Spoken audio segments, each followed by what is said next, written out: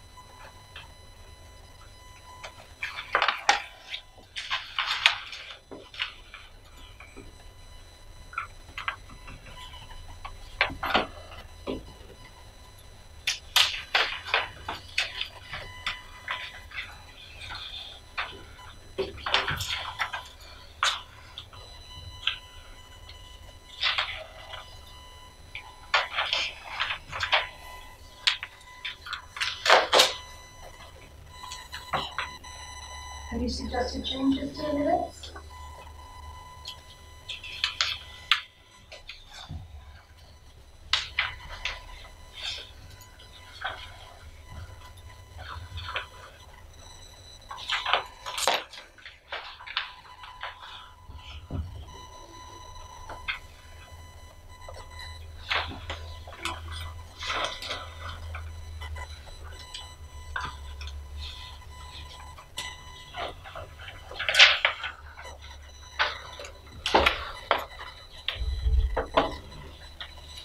Do I have a motion to approve? I move to approve the minutes. All in favor? Aye. Okay, minutes approved.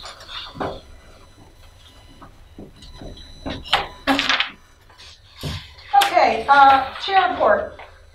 Chicopee City Planner Lee Pouliot, I don't know if you know, how to pronounce it that way, or Pouliot, um, will be coming to our March twentieth tree commission meeting.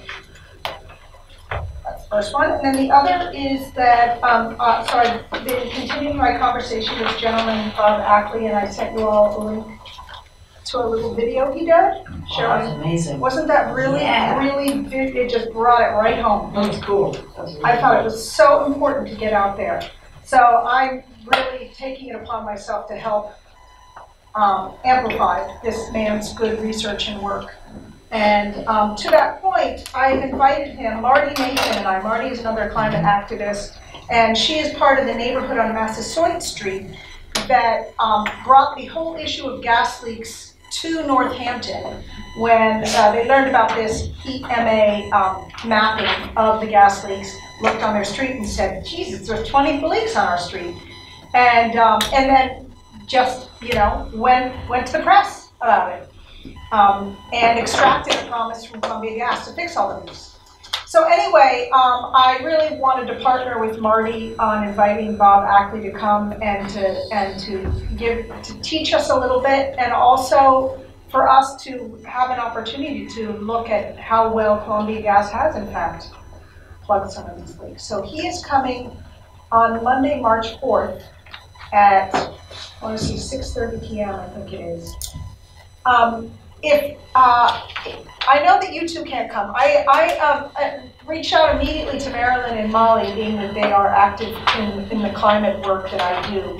And neither of them can attend. I know Molly, has something. Yes. So, um, I don't know if anyone else can attend. Um, we can't have four of us be in the meeting at the same time unless, unless we call it a public meeting and are prepared to like set an agenda and create minutes and everything. Um, Was it his, his, it's like a workshop or? It's, you know, it's, I would call it a, a, a conversation.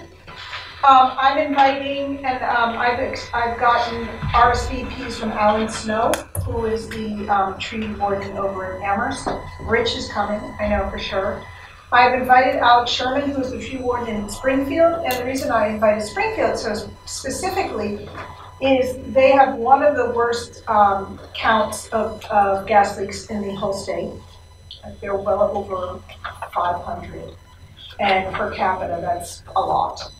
And um, the other reason is, well, three reasons really. One is they just planted a whole bunch of new trees be- because of the recent tornado, and, you know, if they're planting them where there are active gas leaks, that's just going to set those trees up to die. Um, And then the third reason is because they share the same supplier as us, Columbia Gas, and Columbia Gas made a public statement two years ago affirming that they would be plugging the leaks in Springfield and Northampton. So, um, uh, for all those reasons, I would, would have loved him to come, he, he declined. Um, and, uh, you know, I'm hoping that we can continue to share the information with him, and also free advocates in, in Springfield, so. Is your event open public? I'm gonna keep it small enough that, um, you know, we can all fit into someone's living room. So, but, but if you have a couple of people who you can think of, who you think would take a particular interest in this, I could offer to my neighbors, are, in, might be interested. yeah, yeah, I mean, yeah, especially Stoddard, Stoddard. because that's, there's a video. Did you see Yeah, yeah. Online, She of did Stoddard it. Street. Oh, yeah, I With shared it Ackley. with the whole street, We- and they all got back, we need to do this. Were you there for any of that, or? Mm. the gas line repair and Bob, Yeah, yeah, um, are things better now? Is it fun stuff? Well, there was one neighbor who's moved away. Alicia used to go out and smell around all the time and call the gas company really regularly. She had little kids. But I mean, do they come and do a major repair? Yeah, the whole road has been, there's, there's rectangles all down the street. Yeah. So they repaired all the leaks that I'm aware of. Oh, Okay, So they dug the road multiple times. just thinking about the sweet, the black ones and so, you know. Well, and also Bob's comment was, you, you know, it's been repaired so many times, it needs a new line. Um, you know, because it sounds like they're dealing with a faulty line, so I don't know, maybe, maybe he, they ended up putting so many new parts in that it, it constitutes a new line. I don't know. Several of my neighbors wanted to know, you know, what they could do, and I said to ask around and find out who organized um, to get Massasoit, so knew, and get involved. Yeah, So, right, um, yeah. Squeaky wheel. that's exactly. Yeah, so a- anyway, um, Sue, are you interested in coming? Possibly, I have to check on something. Jenna Ross? Yeah, I just, I have to check a few things. I can, um, get back to you a little bit. Okay. I mean, I definitely am I won't be able interested. come, but I, I like the links. Okay, I'll keep sharing, I'll keep It's, sharing. si- it's at six? Six thirty. Yes. Yeah, he's, he's a really interesting guy, interesting guy, he's great interest, he's working, well, I'm working with him to create a PowerPoint and a, and a, uh, a guideline, a set of guidelines for tree wardens, um, throughout the state. Uh, and so, you know, we're just, he's, he's just a wealth of knowledge. All right, so those are my two chair reports. Really, just for clarification, that means on the fourth, Monday the fourth, twenty-four Massasoit Street? twenty-four Massasoit, Okay. yeah. Who is the owner of the household? Marty Nathan. Marty. Thank you. Oh, no, sorry, I didn't ask you. Is that something you're interested in coming to? I don't think I can make it, but Okay. it's pretty. Um, Um, hey, Rich, that does remind me, I mean, i- if it's not a meeting, but it's just something that we are, that we, we're all coming together as an educational thing, as long as we post it, it's not like we have to take minutes or write an agenda if it's not a, it's not a city meeting, is it? Do we just need to post If it? it's a quorum, if it's an anticipated quorum, you need to post it. Yes, post it, but we don't, does that mean, Technically, you're supposed to have minutes. okay, all right. Well, if it comes to that, we'll deal with it. I mean, if there's really more that, I would, I don't want to turn anyone away. So, It would be different, like, for example, at the tree, uh, community tree conference. That has nothing to do with anything in the business of the tree commission, so multiple commissioners could go to that. okay. But because this is something that's an agenda item that's being discussed amongst all of you during the regular meeting forum, it would probably be best to do that, if that, if you anticipate that. Yeah, okay. All right, that's it for me. My turn. Okay, I seem to have other. What about Yeah, you- chairs of yeah, you attendance have and two public other items. Oh, yeah, you know what, I, I'm just gonna bump that down the road to discussion of the, discussion of the revised ordinance. I can, I can give you all of that. Uh, A couple things, uh, I sent you an email with an attachment of the photo of the five hundred dollar fine that I just collected today from the illegal tree removal on Bridge Street. So we have another five hundred dollars in our possession, so the tree warden, the tree warden account at the moment has eighty-five hundred dollars in it. So, just uh, to let you know. Where is, where is one fifteen Bridge Street? It is right across from Lampron Park, where the crosswalk is. So that little tree belt right there, there was a very healthy ginkgo tree that was cut down illeg- uh, illegally. By, by the homeowner? No, the house is abandoned. Uh, It's uh, being uh, managed by Aspen Realty Group down in Connecticut. So they sent a landscaper from Connecticut to do a bunch of trimming on the, on their property from the brush and limbs that were overhanging the fence into the sidewalk. So they decided to prune the trees that were in the Is public one right away. fifteen the mansion? Yes, Really, that's abandoned? yeah, there's no one living in there, and it's, I, I'm not sure exactly what's going on. Yeah, they, it was foreclosed. Thank Okay. So, for sale. I used to know that, uh, quite well. I used to- Tom, You promised her one. not there. so so the other thing I wanted to, to say is that I was doing a little uh, research. Uh, At the, at the water department, they have city reports that go back all the way to eighteen eighty-two. So they, every department in the city used to get a copy of the city report. So I was looking for some information actually about Spring Grove Cemetery in relation to allocation of funds for the purchase of the, the land. And what I found in there though was a whole bunch of interesting things about public shade trees. So I read you a little blurb here. This is from the uh, late 1880s. And this was uh, the report, this was the portion of the report called the Report of the City Improvement Committee, which is now uh, the Capital Improvements Committee. So, um, so shade trees, uh, there are, uh, there are a great many uh, large trees in different parts of the city, uh, which uh, for many years have been neglected and are now rapidly going to decay. So this is 1880 now, 1880s we're talking about. These should be either cut down or thoroughly trimmed. Their dead limbs are liable to be broken off by high winds or to fall by, by their own weight upon persons who may be passing under them.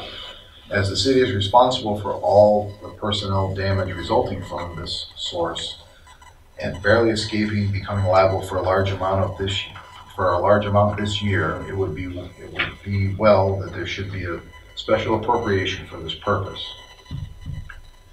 That's interesting. But the next thing is much, much more interesting and actually plays into exactly what we're trying to do today. It's called uh, uh, setting of, setting out trees.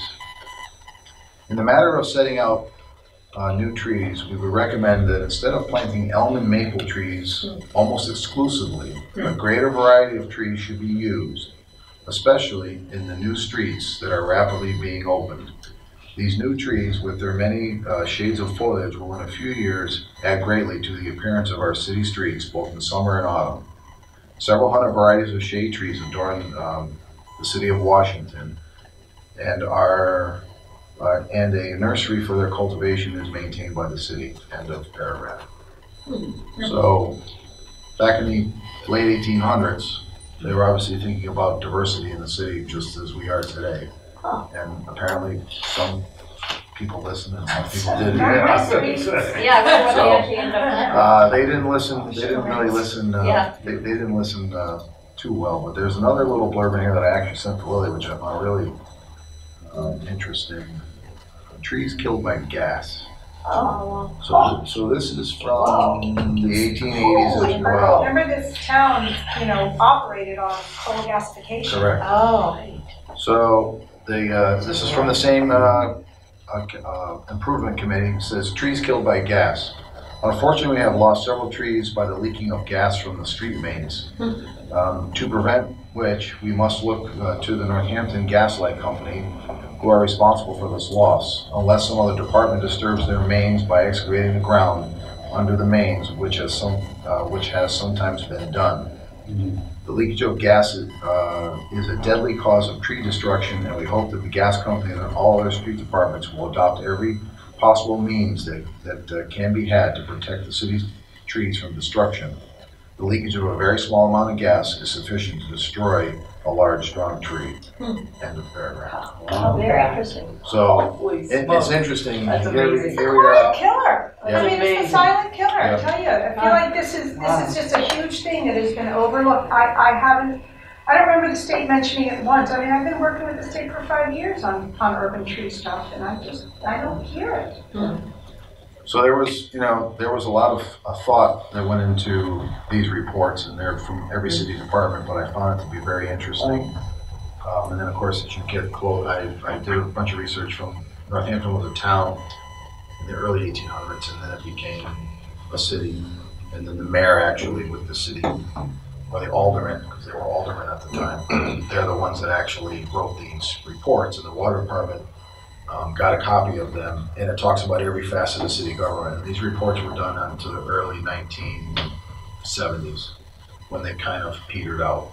Uh, they changed, and so basically these reports were used for.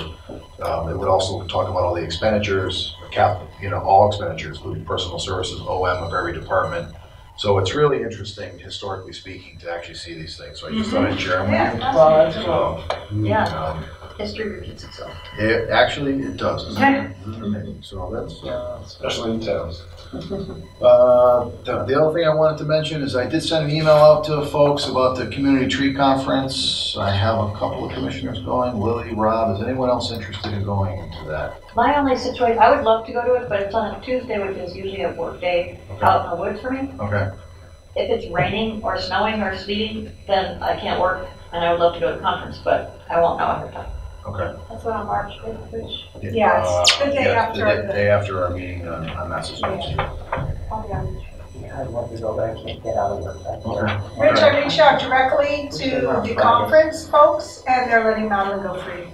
They are? Um, Yep, Wait, the, the meeting on Ma- Massasoit Street is the, the the night fourth. before Is the fourth, this, is the fourth at six P M. And the fifth is the tree conference. The fifth is the community tree conference. The, the topics will be really good. They at do. that. I know. We do. Yeah, check it out.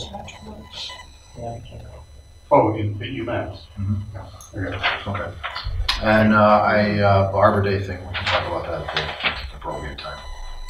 That's it. Would I be able to go at the last minute, or you have to register ahead of time? For me to register here, this way I have to make a purchase order. So Ah. I'd have to actually put you on the list now. Right. Um, But that doesn't mean that the day before I might not be able to add you, I don't, I don't know, so you can just, Yeah. All right, because once you're added and you don't show, they have to pay the bill, right. unfortunately, so. I'll put a note on Monday to contact you Okay. if the weather looks like it's. All right. All right, should I move on to the next thing? Okay. So as you know, I was surprised on uh, Friday, the, I don't know what it was, 17th or something, 18th. Um, When uh, Rich forwarded to me uh, a significantly revised draft of the ordinance the planning office has been working on related to large-scale ground-mounted solar.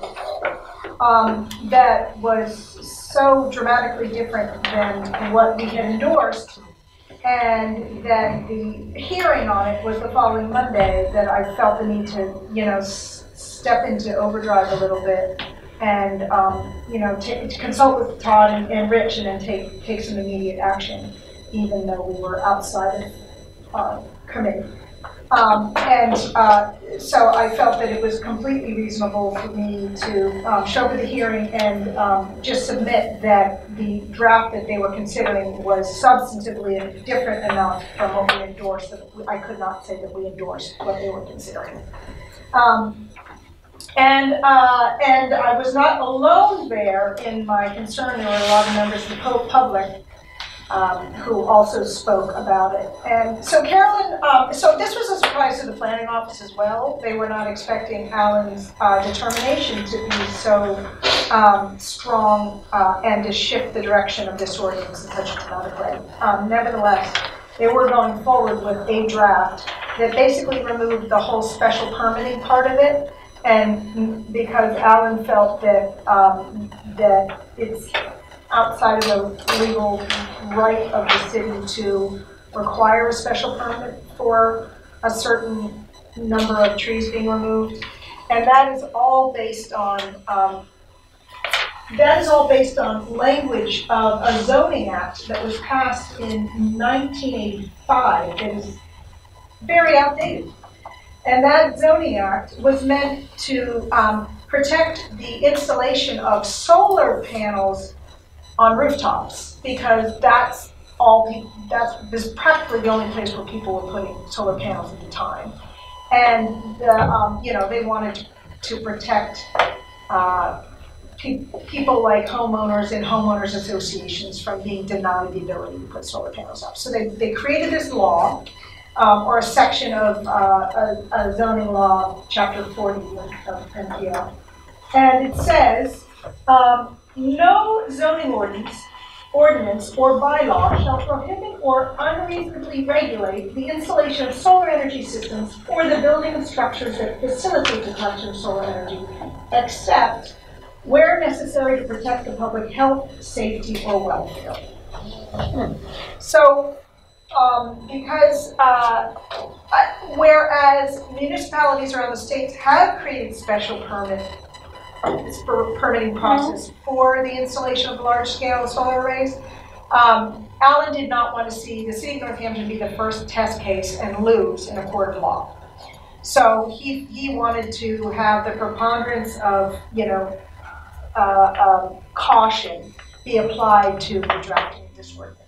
But in so doing, he kind of stripped it of all of it, all its teeth, in my opinion, and in the opinion of other people. So, um, what I, what I suggested was that we take more time, we kind of, you know, slow, slow down, take more time to zoom way back out and consider what all of our options are. If, if the, if the, um, you know, decisive language here is unreasonably regulate and except where necessary to protect the public health, safety, or welfare, and those things can be somehow quantified, then maybe our job is to try to add measurables to what it means to remove trees um, uh, in exchange for solar panels. So I, I feel like there's a lot of research for us to do.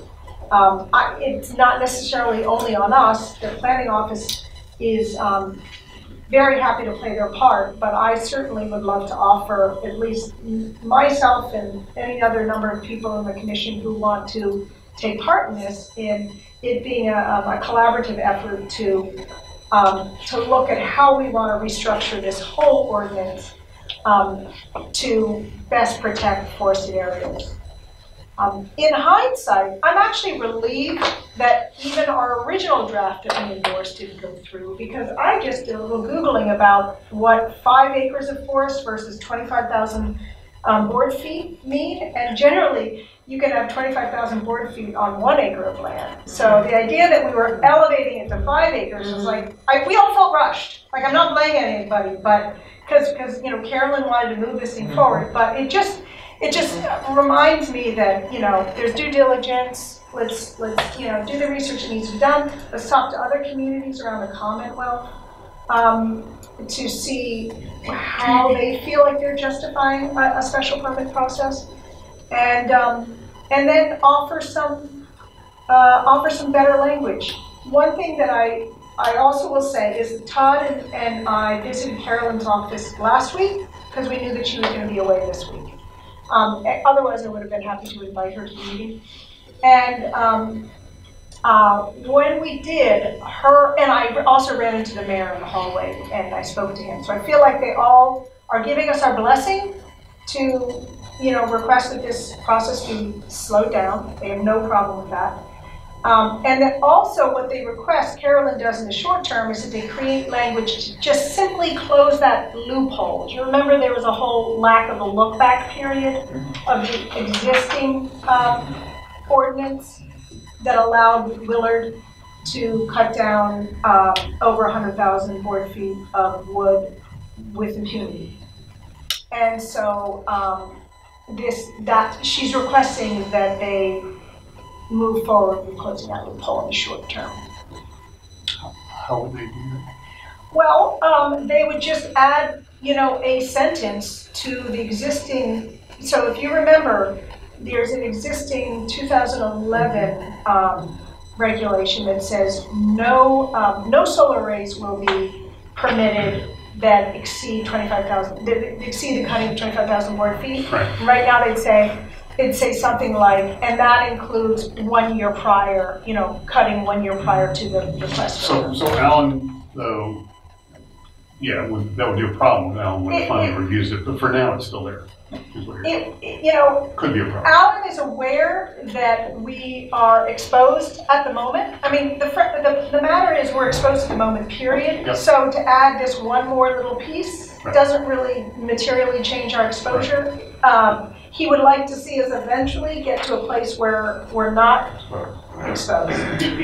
I don't know if the five acres will come up again, but part of the thinking of the five acres was that, uh, if there were many board feet of, uh, within that five acres, that, uh, there would be significant trees in order to accomplish that, because you'd have to have some very mature trees, and those would be protected in any case, is that right? The significant trees are always protected. Right, That's correct. Having said that, twenty-five thousand, um, board feet seemed to be from, at least it's just like ten minutes of Googling. Right. The low end of how many board feet you can get out of any land. Right, I mean, Right, right. like zero, you could get out zero, but it can go up to as much as like a hundred thousand. So, so there are, there are communities in the state of Massachusetts that do have special, There are, um, they are, And denied outright, which is why the Green Communities Act required that you adopt solar by right. Yeah. no, wait, what do you mean by, I don't know. what So- mean? Solar is, solar, ground mounted solar is has historically been denied or governed through special permits historically for a long time, which is Uh-huh. why when the state adopted the Green Communities Act, and one of the incentives, or one of the things that a town needs to adopt in order to become a green community is to make solar by right. Oh, so you can't deny it at all? Right. But- Like, that's well, what, except for this- through a standard site, site plan, right? You always have. Right, if there was a- some sort of, they didn't meet the setback requirement or the height requirement. Or the some basic- wetlands, or, Yeah, some basic thing. so that's basically the same thing as what Alan's saying, is it, or that this nineteen eighty-five thing is saying? That you can't deny it? I'm saying there's an inconsistency in state policy where they acknowledge that it, it was being denied or made into a special permit for a long time, and then they provided an incentive for towns to make it, Oh, uh, approved by site by plan right, approval. oh, okay, I see what you're saying. uh-huh. Okay, so yes, I mean, uh, uh, this is just, again, a quick Google search, New, New Marlborough, West Hampton, Westminster, Townsend, Southbridge, Easthampton have, a- also have, all have requirements for special permits for large scale solar. So, so also, almost all, many, many, many of those towns, most towns, I think, allow setback planting without it being put on the deed. And so Alan, Alan is a careful reader, Uh-huh. so, Yeah, all, all municipalities. yeah, well, no, no, there are a few that don't.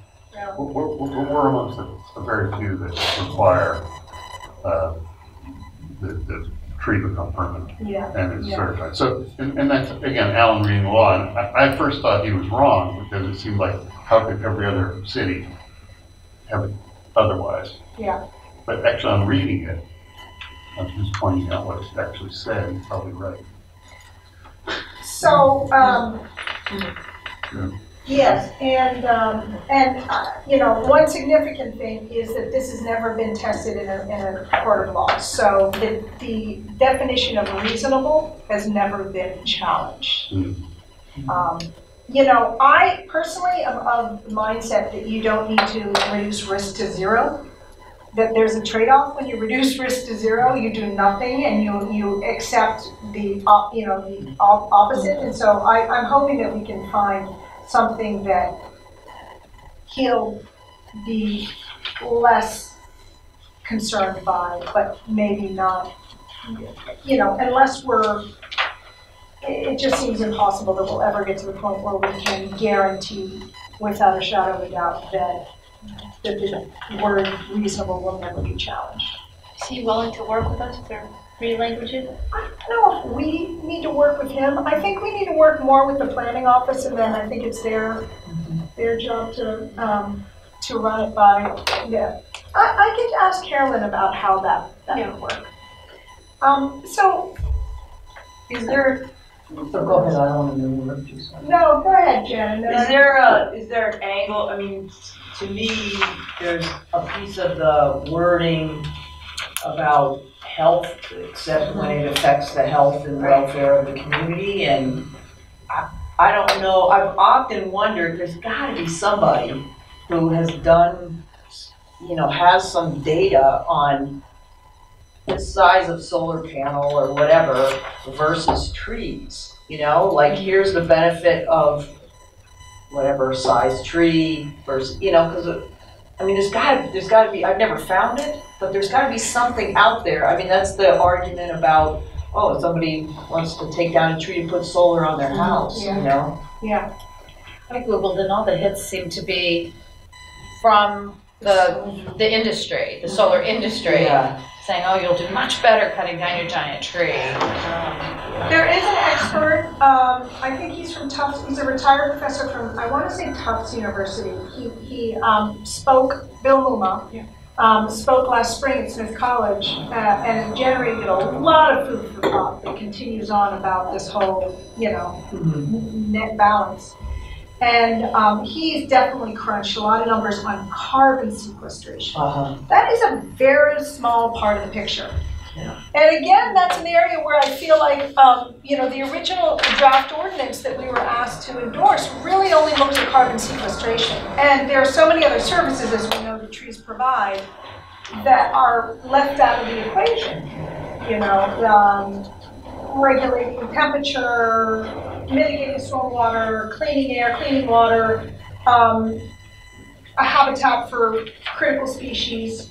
And so I think all of those pieces need to somehow be um, considered, and we've, we just got to find the, the right language to put it into an ordinance. Here's the other piece, and you and I spoke about, a little bit about this when we had our subcommittee meeting, is how can we create, um, really a larger city plan that incentivizes us to encourage solar panel installation where they really should be, which is over parking lots and on buildings and. Exhaust that. Yeah, exhaust it before we hit Right. trees. Mm-hmm. Yeah, like a flow chart. Have you considered this yet? What are the mm-hmm. options? And if that's not available, then consider removing the tree. But how many go to that first question of? Yeah. Yeah, It's just about money. Yeah. There's no plan that you can't incentivize developers to use good behavior other than penalizing them when they use bad behavior. Yeah. So, Or incentivizing them to use. or yeah, and and which the ordinance already does. You get a site plan from the, you get approval from the planning, from the planning office if you install it in certain areas, and you have to go to the board if you do something else. I mean, under the, the way the city attorney reads the state law, that's basically all he's gonna give us at this point. So the key, in my view, is to tweak the significant tree ordinance, which is where all the teeth lie anyway, and to add, as we discussed in the meeting, look at a multiplier for the, um, for the, for the mitigation if you cut over X amount of board feet, acres, what have, what have you. Um, so that it's a large-scale development and they're just clear cutting, okay, well, you reached your five acre max and now you're paying triple, whatever Oh, it is. yeah. So, Um, oh, yeah, and, and that way you disincentivize someone Right, to, right. you know, make the offer on the piece of And suddenly forested you've property. incentivized them to go to the Yeah. Walmart parking lot. And, and, and Oh. ch- change, possibly change the look back period too, is that? Well, the look back period is already closed in the significant Yeah. tree ordinance, they're just double closing it in the uh, solar bylaw. By close? Yeah, There's a twelve month, right, I know. twelve month, there's a twelve month look back in the significant tree Right, but protection. wouldn't, it cannot be uh, hard to make that a longer period? Yeah, possibly. But the piece of property would already have to have a significant tree on it in order for that to be triggered. Significant tree is, Twenty. yeah, it's not, not huge. It's not huge, but Todd, I'm wondering if, um, what we could say is that a significant tree is defined as twenty inches up to the exhaustion of ten thousand square, uh, ten thousand board feet, and then it becomes significant at ten inches. You know, I'm like, I'm wondering if you can ratchet it down so that, um, the more they take out, the more you're protecting not just the twenty inch trees, but all the trees. Yeah, and then, and the other, the other benefit of that is it applies to all land uses, not just solar. Yeah, which feels like a, which gives, which gives, um, the solar industry less of a reason to feel targeted. right. Um, because frankly, we don't wanna target Sure, them. And, uh, uh, you know, we wouldn't want this for any other purpose, but one thing Carolyn said is that there really aren't any other purposes that would wanna do this sort of thing. Like pot is not considered, you know, we're long past cutting down forests for pasture, like there's just no money there. So it would be, it would be for agriculture, and that would require, that's protected and would require uh, like a, uh, a timber plan, timber removal plan under ag laws. And then pot is even more heavily regulated, it's not even considered an agricultural product. So we could just simply ban, if it's not already, ban the removal of trees for the purpose of growing pot. Well, then the other obviously purposes, um, reason would be residential development, Development. yeah. And the city has lots of regulation around that, about tree, tree, removal and replacement. Yeah, I mean, you know, usually they extract that fifty percent of the land must be converted to permanent protection. You know, well, maybe you could do just that same thing for a solar. Well, that was gonna be in the new draft, but is that enough? Like, we could still lose fifty percent of a very large parcel of land. Yeah, but they'd have to bu- buy twice as much land Yeah. in order to protect it, which would add a financial disincentive. Well, you'd be surprised how much money they can make. And Carolyn said that the Willard property, um, even though they're gonna have to pay a huge fine for the, all the significant trees they cut down, they're like completely nonplussed about it. Oh. So I think we have to be, we have to really give this teeth. And Rich, this ties into the, the last piece that we talked about, was the idea of substantially increasing the um, dollar amount per, D, per uh, DBH inch for the removal of trees. Um, you know, I think we all, we agree that ninety dollars per inch is just vastly, vastly under what it will cost. Like, for example, let's say we did have a solar industry that's cutting down five hundred trees, and they do need to replace all those trees. Like, first of all, we're overwhelmed by the number of trees we need to now plant. And second of all, it's gonna cost you so much more than ninety dollars per mm-hmm. inch tree to plant all those trees. Like, the real cost of doing that job is just vastly higher. So for services from small trees is very small. Very small. I think, I think also, you know, there's a legislative angle to this. When, when the state changed uh, the regulations to the, to the SMART program recently, they claimed that they provided disincentives for forest solar.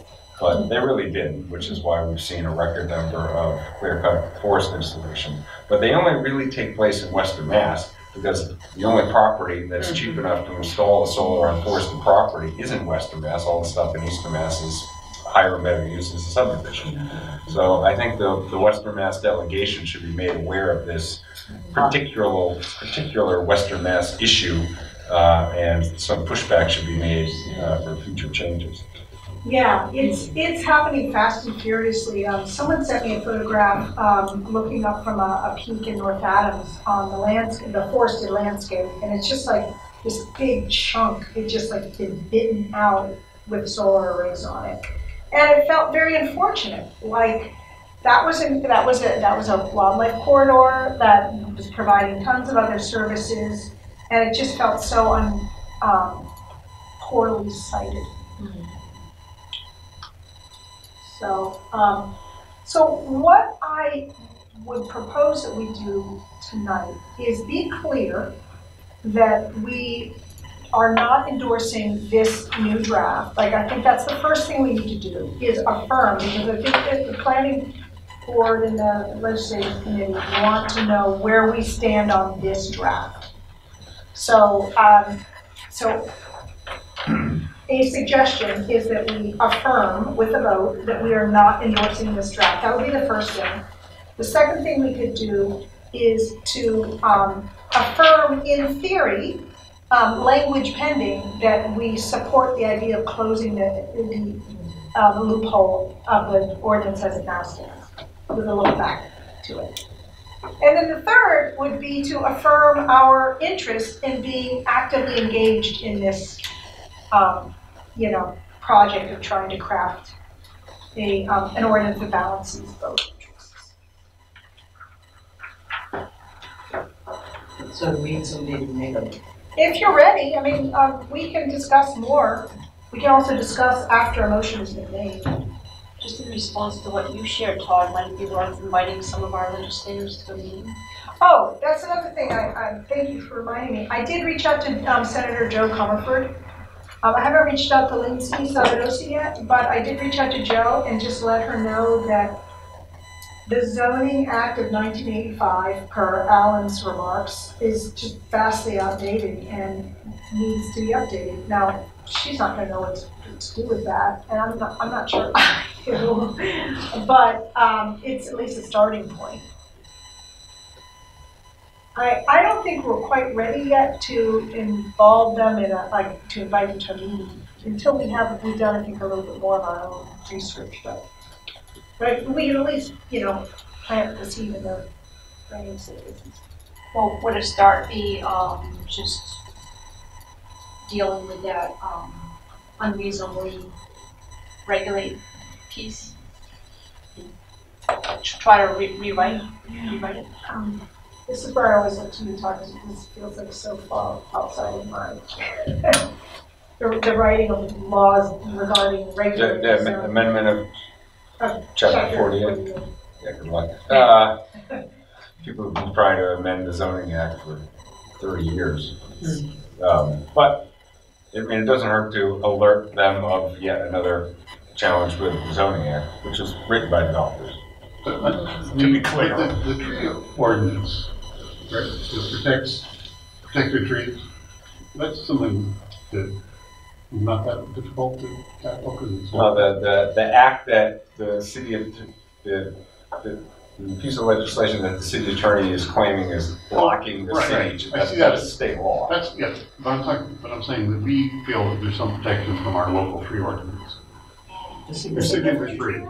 Yeah, I, I, I, that's certainly the fastest way, in my opinion, Yeah. to get the lion's share of disincentives as quickly as possible. It's not, it's not what was No. written, but in my view, it's the fastest way to get some level of protection And the process of doing that, is back to the city council.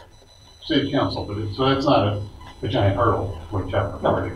No, and Alan's already, you know, all, all we'd be doing is tweaking the significant tree orders, which Alan has obviously already approved. So it seems like that should be a priority, because then that gets it.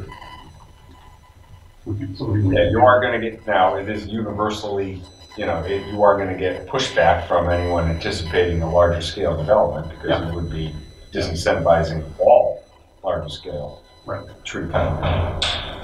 If we came up with compelling language to change, um, that law nineteen eighty-five, talk, what, what would the process be? Ultimately, the legislature has to vote on it. You're talking about the now state, state- state state legislature. level. Yeah, Yeah. you're talking about rolling a boulder up a mountain. Yeah, I'm trying to get, I'm trying to get like As a someone, little who- as someone, as someone who does legislative law on the state level, it's, it's, But is that, that's what it would require, they would have to vote on it? It'll be yeah, years. it would have to be passed and then it would have to be, you know, signed, signed by the governor. It's probably a five or ten year project. if you- Well, Yeah. Yeah, But but yeah, I, I agree in theory, uh, that it seems like this, the- tightening up the significant tree ordinance could be, could, could be the way we go. I don't think I'm ready for us to vote on something like that today, personally. I don't think we're ready for that. Like, we, I feel like there's more, like, we could flesh out, flesh out language and so forth. But I think our job today is to let them know what, what, how we feel about this. Yep. And, um, and maybe do a, uh, Todd, what do you think about the short-term closing of a loophole? Do you think that that makes sense for them to try to, uh, at least put look-back language on, um, the existing ordinance? Um,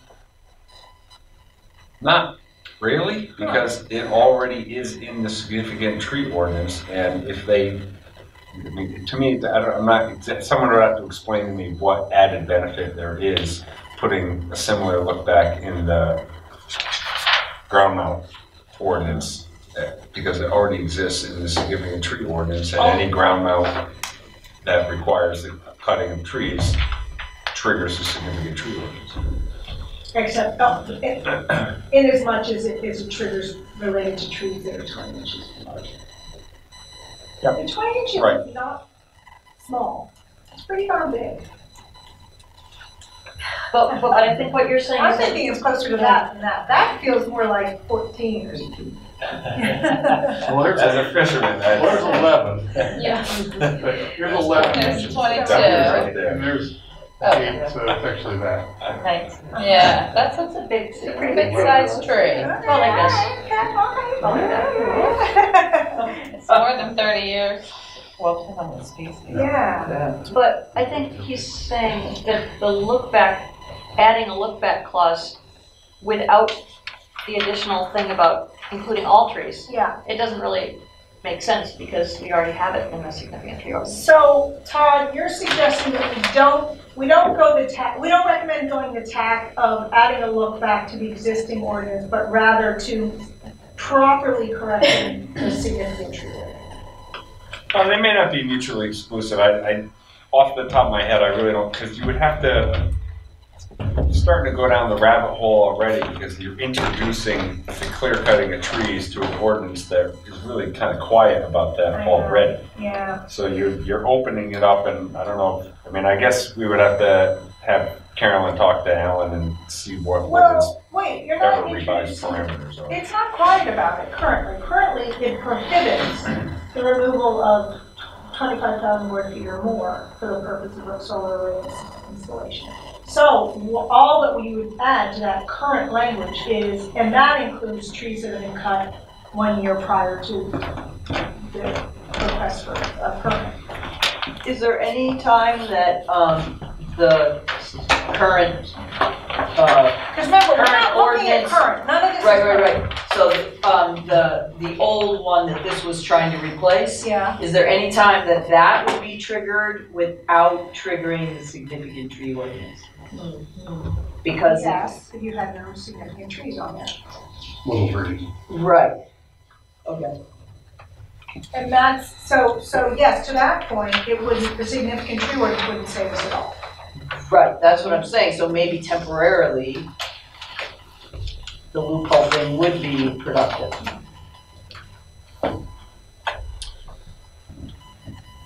But I'm no expert on it. No, we're not charged with writing city ordinance. So I, I- you know, frankly, I think that we should pull our support of the ordinance and say we look forward to working with the city solicitor and the planning commission to the greatest extent possible to craft an ordinance that reflects the city's desire to protect healthy ecosystems. Is that a motion? I'll move, I'll move Sure, second. that's a motion. Yeah, that's. I'll second. Good thing you've got the camera back. The notebook's on fire right now. In accordance with three fifty twelve point three on the second page, is that the tree ordinance? Yes. Okay, thanks. Okay, so we're, uh, Todd, can you say that again a little bit slower? And maybe tweak the ending, uh, I mean, unless you don't want to, but it, um, you said in order to protect healthy ecosystems, and I think it's in order to strike that balance. and- Sure. Uh, well, that we, um, Rescind. rescind uh, our um, support of the um, existing changes to the, uh, to 18.231. Uh, And that we look forward to working with the city solicitor, solicitor and the planning office on crafting appropriate language that would strike the balance between the development of renewable energy assets and the protection of our forests. So we just changed, at the beginning, you said existing changes, I think you meant proposed changes. Propose, yeah, like- Yeah. And probably the verb wouldn't be rescind because we never gave support for those proposed changes. Hmm. So could we just say we Oh. do not support That's true, of because we, rescind? because we didn't support this, we Yeah. were something else, that's true. Okay, so we, we had a motion, we had a second. Does anyone want to um, move to um, accept the um, amended motion now? It's been amended now by Molly. I move to accept the amended motion by Mark. And I second that. Okay, uh, any further discussion? Rich, do you want to chime in? No. Okay, all in favor? Aye. Any opposed? Okay, thank you. Can you clarify, is that um, a vote to accept the amended version and then you're going to do another vote? Or is that a vote to No, that was, that was, approve the amended version? yes, that was a vote to approve the amended Okay. version. Of the motion, Fair not of the rest, of the. Of the not motion, of ordinance. Todd's motion. Right.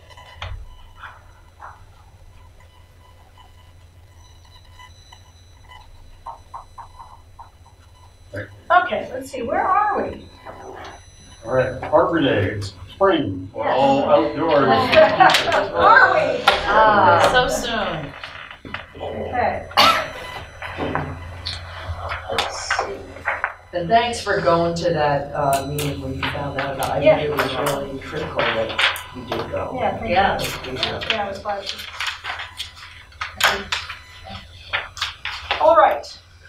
So at the last meeting, we discussed, uh, Sue and I had proposed for activities for Arbor Day and why don't we just go down that list before, it's on page three of the minutes.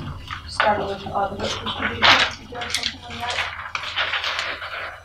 Um, start the order meetings or No, no, no, we just, what we decided upon. they, they ordered it? No, not yet. okay. I'm order them though. Okay, So common lilac, sugar maple, persimmon, ironwood, and redwood.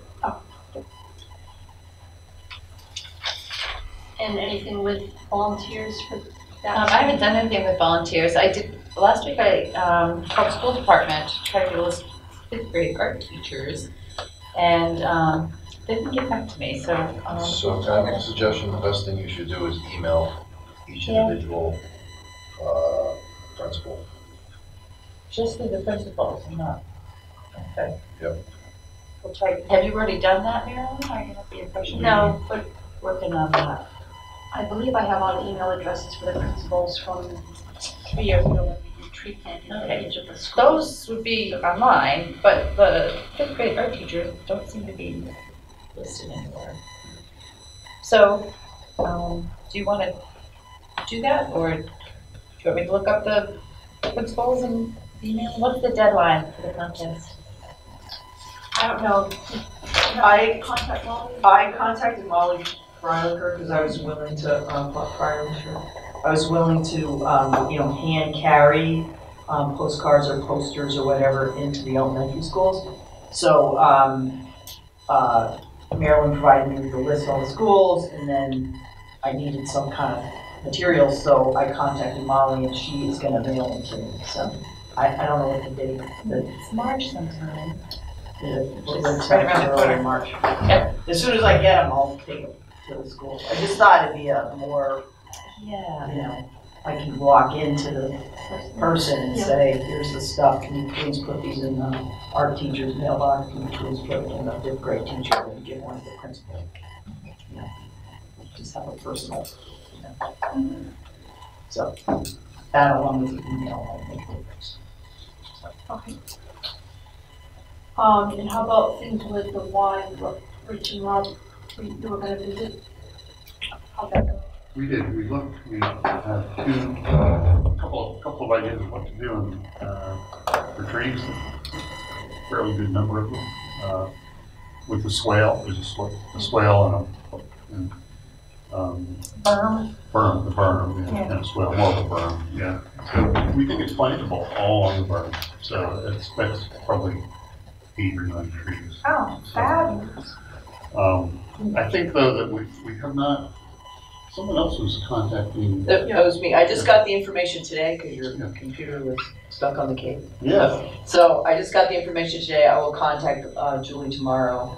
And, um, and just to to be, I just need to be really clear about the language. So the trees would be setback trees and therefore they would be city, city-owned in per- perpetuity. And, okay, and that they, the city would be responsible for maintaining them. right, you saw in that email there on the parking, just Correct. the parking lot side Yep, yep. of the, uh, The wires. the berm, and the berm. Yeah, I know exactly, yeah, And Yep, yep. I think you gave a number and and Yep. species, yeah, and a couple of Yeah. species. yeah, yeah. With Yep. an alternative, uh, uh, also. Mhm, Right, And those Yeah. medium sized trees? Big, we were talking big trees that would go up over the, the wire, or bald cypress that would create a screen. Those two different ideas. Well, it- it's one or the other. kind of. One of them, or- Yeah. um, uh, The wall covers are fairly narrow and they were packed in tightly. The, the, ne- the ne- I don't understand the whole thing. The- Apparently the neighbors were promised some kind of screen. Originally, Originally, and there is no screen, so, because all yeah. yeah, all surface leaves small branches that would you know, cover. I don't know what they're. Are we gonna let them choose, or are we? maybe- Well, it's kind of a negotiation because they have to accept. Yeah. You know, and so if they object to whatever tree, then they kind of get.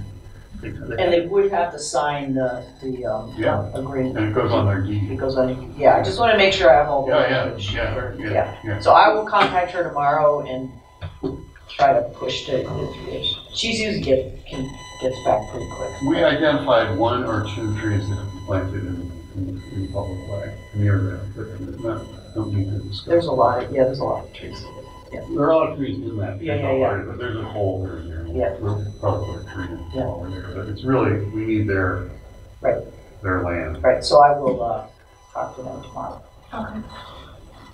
So it's either, um, you know, one benefit of the bald cypress is to create a screen, a thicker screen, Yep. but the benefit of the shade tree is obviously to go over the parking lot and mm-hmm. provide more shade for the Shade. cars. Right. Mm-hmm. Yep. right. They're both significant because the people are in a hardship across the street in the way. Yeah. That place is like probably one of the busiest parking lots in town. It's terrible. I- I- Yeah, yeah. And so to have some kind of like screen, and elms don't provide that screen because they, Yeah. What about, Rob, um, what about planting the shade trees and then creating uh, a, a closer under the wire or inviting them, I mean, it doesn't have to be our Yeah. job, to create a smaller hedgerow screen or some kind of a understory screen? well, I would have thought they would have had to have done that by now, so I don't I think they did it, I, I don't know the, all the machinations, but there's been a lot of different things planted there. The issue was whoever, and I don't know what landscaper installed the stuff, but it was never the appropriate stuff for Oh. the site, because there used to be Norway maples there, and it's quite shady, so they put junipers in there, they put all this stuff in there Oh, that was like, I see. I'm like, that crap's gonna die, you know, Yeah, it did. plus, nothing So- likes to be under a Norway maple. Yeah, it was, it was not, it was, People. yeah, So I'm wondering Yeah. if we can have our cake and eat it too, Yeah. in that we can get shade trees and you can maybe, Jen, as a horticulturalist, Mm-hmm. propose some understories that would also provide a screen. you mean understory trees or No, shrubs? No shrubs, probably. I mean, So- so something the that would issue- like when they, when you flash your, your, Yep. your high beams. Yep, yep, It So the issue, shrubs, the yeah. issue there would be who owns those Shrubs. shrubs, because I think the deal is that the, this is what I'm, I'm projecting, but I think their, their hesitation is they have quite a few trees on the property, and, you know, a limb will fall, they, they've spent a lot of money in tree maintenance, and, you know, one just broke the fence at the playground and stuff like that. So I think their, their They're thrilled that we're reticence was like, we don't wanna add any more that we, we're gonna have to take care of. So my guess is the shrub, Even unless, that, they wouldn't go. Yeah, I doubt it. Yeah, But we're not in the business of planting and No. shrubs. Exa- yeah, exactly. So I could, I We could can at least give now, some suggestions. yeah, sure, sure, the trees, yeah, I can talk to her about that, but that's my guess, is they'd be like, okay, if we don't have to take care of these trees, and if somebody else is gonna prune them, and if they go in the wires, it's not us, you know? That's my guess, so. Yeah. But I'll talk to her tomorrow. Cool. All right. So, so, yeah, two different models, each having. uh, Yep, perfect.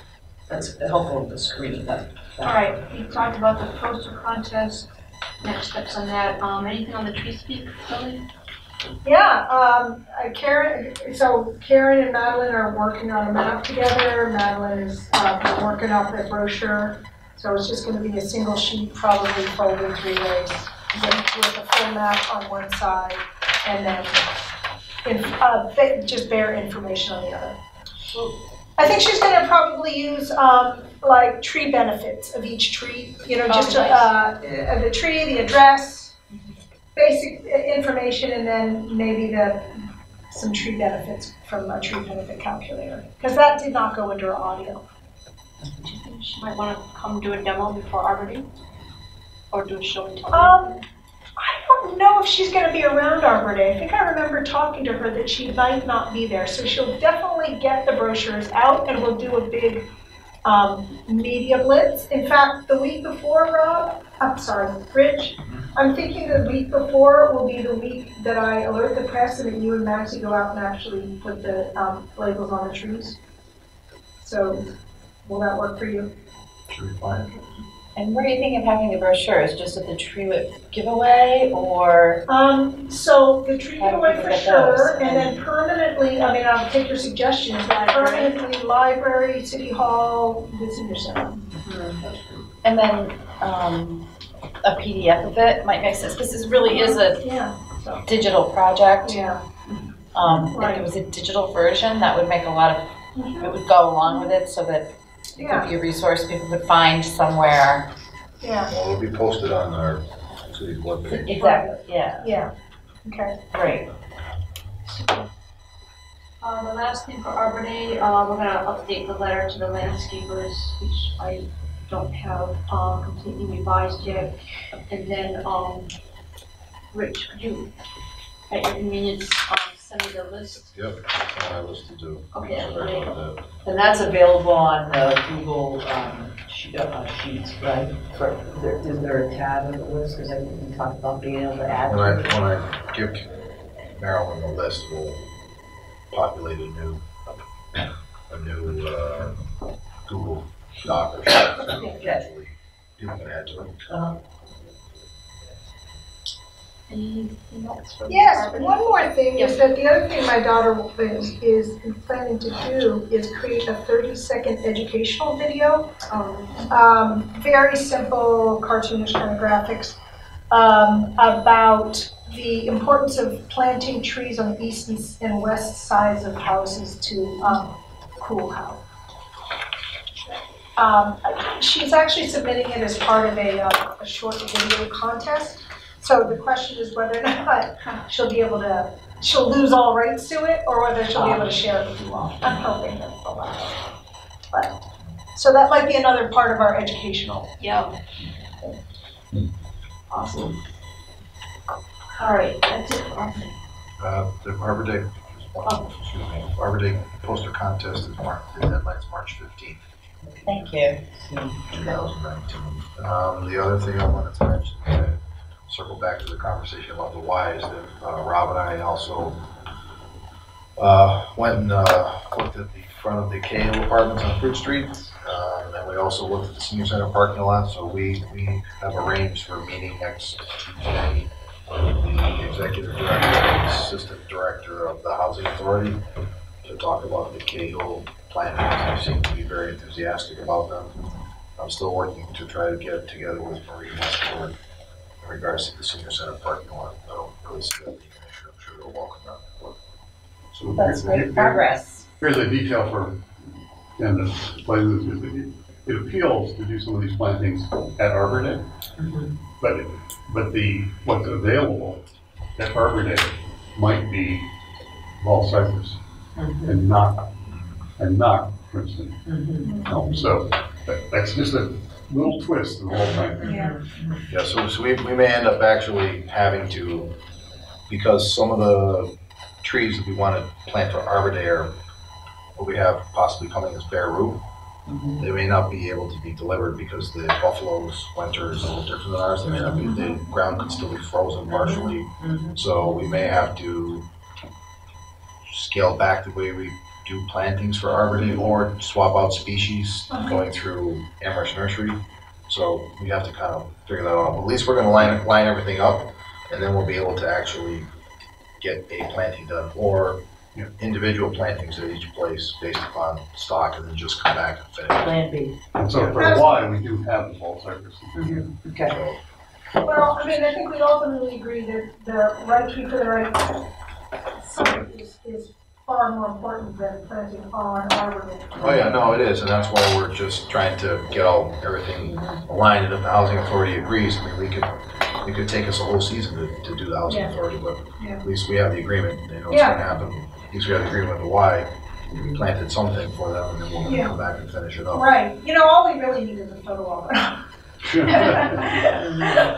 Right. Stage Play it one photo shot. op. Because we have volunteers who are willing to come back, you know, pretty much. Photoshop a tree. It would be really nice to be able to plant some. Yeah, like It we would did be- last time, It would be was nice kind to of do cool. something like we did in front of the Gazette. Yeah, that you was know, cool. Yeah. Even if it's just in one place Right, instead of two. but- right. I know from volunteers and people stopping by the Arbor Day with the table that um, the idea of getting a relationship going with their housing authority and being able to plant on those properties is something that people will respond really positively to.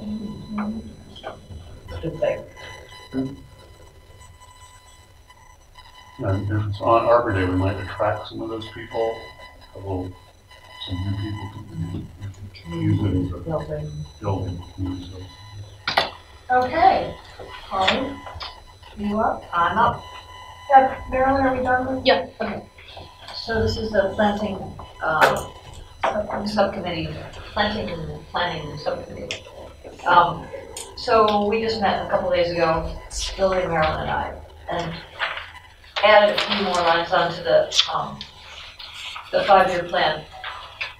So for 2019, we, um, we were just looking more at the, um, the ward-based plantings and we definitely are emphasizing Ward six for, for next year. Um, but also, so we, we're, we have fifty trees down for Ward six.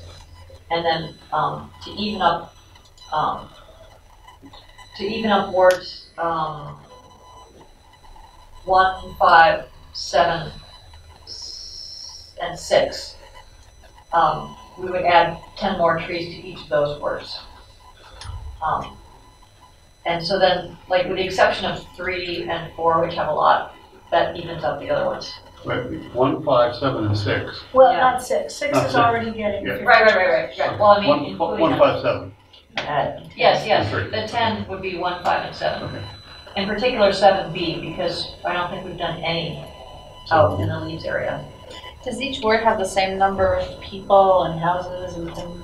Well, the same number of people, that's, you know, all, The it's number of all, people. um, you know, census data that that So provides the the green lines. funds are being distributed.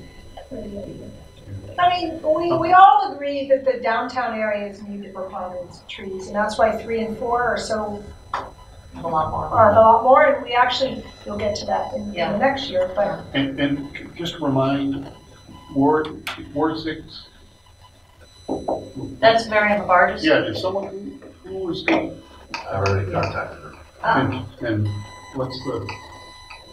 Yeah, so we're, Yeah, okay, She wants to do okay, site visits with us, she said she'd do everything. right, that's what I thought, okay, I just wanted to say, so Ward, Ward six looks like it's, it's, it's a go. Ward six is getting a lot of attention this year, they're gonna, they're Yeah. gonna pave a lot of streets there as well, so. Oh, yeah? It's gonna look, it's gonna look really nice. this nice, is yeah. good, this is a great That's thing. really good. You know, the, the doing it in, in a blitz fashion, I think makes, you know, makes them feel like they're, they're loved, they're remembered.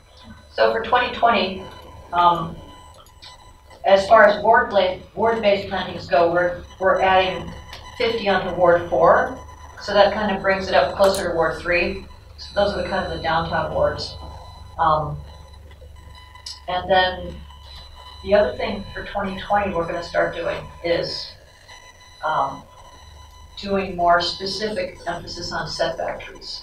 So we took instead of hundred and twenty-five for priority streets, we, we made that into hundred, and we took twenty-five to allocate specifically for setback trees. Um, and we, we put down that we would focus on Bridge Street, whatever, it seemed like there were a lot of setback opportunities there. So for that year, we would focus on Bridge Street, but in, in subsequent years too, we would do more, you know, specific allocation for setback. so 2020, 25 setbacks altogether, Yes, so this No. priority column, twenty-five setbacks.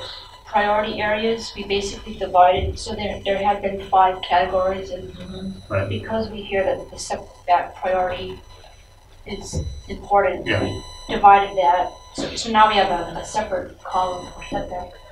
Right, But it doesn't mean, Rob, so, so here's where our thinking was. Our thinking was that we have priority streets, but a lot of them are really prime for setback, as you've argued many times, well. And so we, we thought as we would just shift those into their own column and be thoughtful about targeting areas that are prime for setback and start identifying where those areas are. So for example, like on that part of Bridge Street, so close to the Coolidge Bridge, where we Yeah. can't plant on the tree belt mm-hmm. anyway, Yep. we could really focus on all, and, and maybe you already have. And, and by the way, all of this is couched as, we're presenting this as a proposal. Oh, yeah, yeah, I I understand. I Um, just thought the number twenty-five was low for setbacks total, but maybe it's not. It's not for setbacks total. It just means we're carving out of the priority streets, Uh, Um, twenty-five trees. twenty-five, at Oh. least, at least twenty-five. And actually, I mean, we bandied around between twenty-five and I get fifty. it. Because I, I think we're gonna well exceed the twenty-five Yeah, yeah, yeah, I agree. every year, Um, hopefully. I think it's more like being deliberate about starting to think about, okay, if we're doing setbacks, where are the, where are the areas where the setbacks give us the most bang for our buck? Yeah. And, I mean, Bridge Street is always the one that comes to mind because we can't even touch the tree belt beyond Graves Avenue. Well, and then we could, if, okay, the, you know, You can't, you can't do setbacks either past Graves, uh, uh, not Graves, uh, Grant. Grant, Grant Avenue. You can't do setback plantings. Oh, really? Because it's not a city right away. So the only thing, the only thing, the only thing that can happen there is that Tree Northampton can work with the residents to actually plant trees on their own property. But they could never be city trees. That's correct. Wait, wait, wait, why is that? Because it's, it's not our it's public state- right of way. Because it's state highway. oh my. Even though it's within the bounds of I North. already asked Alan Sewell Oh for my his. God, uh, that's Wow, that's amazing. Oh. Well, we got him two trees before the. Yeah, well, those trees, those trees don't Okay, so fall this, into Can the, landowners working with Tree Northampton, can they plant within that, um, right of way? they, they, sure, they can, they They're can, private but, property. well, hold on a second, it's not necessarily private property. that's If it's Mass Highway's layout, and you plant a tree in there, and Mass Highway decides they wanna widen the road, the tree goes away, there's no public shade tree hearing, nothing. Oh. So you have to make sure that if you're gonna do those types of plantings, that they're actually physically on the person's property. property. Okay. And the trees cannot come from the city, they have That's to come correct. from Tree North. So the funding is, is, it becomes an issue. Right. Okay, well, we can work with that. Is there a standard width for the right, for the, um, state highways? I don't have a plan for that, Do we know what it is for Bridge Street? We don't even know what it is there. Yeah, not, not past the So it would take layout. some research okay. to find out. It's an old, it's an old county road, so my guess would be it's sixty-six feet wide. All right, so maybe that's not what I was saying, That's that section of the city. Having said that, boy, wouldn't it be nice to have that be a great gateway? I mean, it just feels like such a lost, Well, it is, because you're going, you're going into the, you're driving in this open area, and all of a sudden you're driving to a forest, mm-hmm. basically, if you think about it, the way that, you know, the other part of Bridge Street is kind of, has somewhat of a semblance of canopy, Yeah. plus everything we planted. Well, once the stuff from Sheldon, we planted some big Yeah. trees on the top of Yeah. that hill behind the fence, so some of that'll yeah. grow up. All right, well, that, that just, to me, that doesn't feel like an insurmountable barrier. It just makes it a little bit more challenging. It just, it's a funding issue that, you know, we have to figure out how. And I did have a long conversation with a resident who wanted trees planted in the tree belt, and I had to explain to her the whole situation, that you can't. Mm-hmm. So I asked her to, I said, your next step would be to talk to your city councilor to see if the city councilor could actually utilize their position to talk to Mass DOT. Don't know if that would make any effective changes there or not, but it's kind of hard. Mass DOT just really kind of says no to everything, so. What's that recently? And that was last fall. They're hard to get. That was last fall because I also tried to actually get them to, I gave them Tree Northampton's information and said, if you're outside of the state highway layout, you could have Tree Northampton, more than happy to plant a tree here. And of course, well, her husband is a golfer, so it's like the question of the She loves lawn. open spaces. Yes, but they wanted the tree belt fixed up, but I couldn't help them. But I tried, I, I spent a lot of time with them to try to walk Her them husband's through. not golfing on her front lawn. Well, I know, but uh, I worked in, I, They didn't want to. I get what he said. Yeah, and they had trees on either side of the house, small trees, and they didn't want a big tree, they have a very old house, Yeah. so. Yeah. But it does present a challenge, I mean, the only thing we could ever hope for, and if anyone's listening to this video, I probably would get shot or fired, but it would be nice to actually have that whole section of Bridge Street after, after the highway new uh, off-ramp is completed there, that that is actually turned over to the city, similar to what they did on Pleasant Street. Are they putting a roundabout there? What are they doing there? I'm not really sure, I haven't seen, the plans or I think, I don't even think there's twenty-five percent, so I don't know. Oh, okay. Huh. All right. But that was all a lot of problems. Well, So we have to figure out some other priorities. Yeah, we can Sorry, the certainly, tip so was anyway, we, we would encourage suggestions for identifying priority setback zones. That was our, our thinking was, as we do setbacks, wouldn't it be great to blend priority streets and setbacks in some kind of a, you know, thoughtful way? Yeah. Well, yeah, I mean, all, all the priority streets virtually would benefit from more setbacks and less tree belt trees, pretty much. I mean, they- they- Usually the priority streets have poor tree belts, at least on one side, so it would be great to get more setbacks. I I think that we're really moving towards that, because Alicia and Rich have been working on a pamphlet. Oh, another thing we talked about at our planning subcommittee was, um, just the idea, um, of planting something in that, um, circle in the industrial park, which is, I looked it up and it is city property. Yeah. But it's not, it's not a high priority because it's not a place where people walk. Whole area of industrial park. But that, that, it's just this big open blank space right now, it would be kind of nice to have trees I there. think if there were trees there, I can imagine people who work in the area kind of, kind of going and sitting under them occasionally. That's a park, That's it what I doesn't have to be a park. It's huge, Yeah, yeah, it's- it's actually really big, yeah. yeah. And, and actually, Rich and I did set out to go plant that about two years ago, and then it got dug up. Just- The you center notice that? The whole thing- circle? The whole thing got Well, skimmed. it was used for a, a, a launch point for the construction of Day Avenue. Right. And then it was Oh. also used prior to that in two thousand and ten and eleven for the launch point for the construction crew for North Street. Oh, Compacted. When they did, it, they take this, the, Oh. the And the bike topsoil off, too, and they right? put like mountain, and then, Oh. and so that, all that was going on just prior to almost trying to plant. And Yeah. so then we stopped, so we're, Rich and I are really, What's up with Pleasant Street Chunk. Circle? Is that the city property? As far as I know, yeah. I tried really hard to get a hold of somebody, um, to talk about that. And, you know, I got shuffled around, first of all, no one returned my calls, and then I got shuffled around between people. And, oh, we'll get back to you, and, you know, it just never, yeah, it just never went It's anywhere. unfortunate looking. but the, the city doesn't own it. No, it's, no, they Well, own it. well, we own it, then, don't, don't you decide what happens, or no? Uh, we, I mean, we, I mean, we, I'm gonna have, to- I'm gonna have to go with some kind of a design and maintenance plan there, what I've been actually work, trying to work on is, uh, with Western Mass Bees to see if they would actually plant, uh, some, some plant material in there. Um, As far as putting shade trees in there, I would imagine we could probably put some shade trees in there, but they're gonna have to be large, so we can limit them up, so they don't obstruct Right. for visibility issues. Right.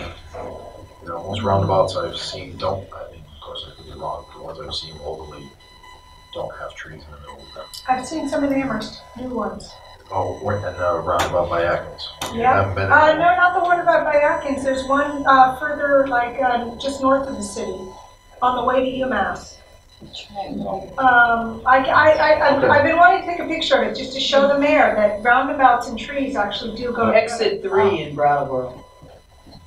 That Oh, used to be- yes. That used to be, I have the old original plans for that, Yeah. actually. I mean, and if you wanna- visibility is fine, and there's not. So, I mean, it, it's definitely, uh, I mean, it is our ma, it's our property to maintain. Even though the city council has not like formally accepted Mass DOT's gift, Mass DOT basically turned over Pleasant Street from Hoyo Street all the way to the flood control wall. And, uh, that's the registry of deeds, they just handed it to Wow. the registry of deeds And and you got know, filed, and that was it. So mounded up, that almost any tree Put still one up tree in the for top. visibility, Yeah. yeah. So we could actually probably go back and look at, uh, for set, capture setbacks would be the lower end of Pleasant Street. Cause we kinda run out of tree belt. Yeah.